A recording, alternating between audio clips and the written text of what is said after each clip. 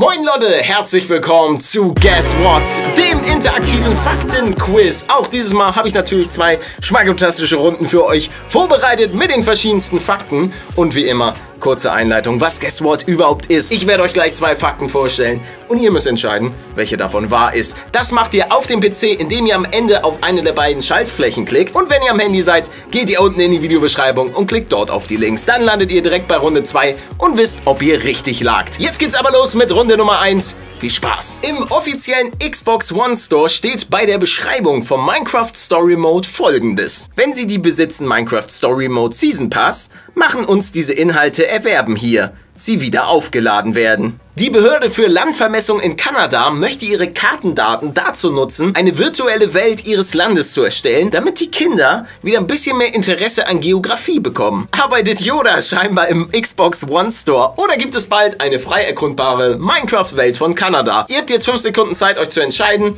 Viel Glück!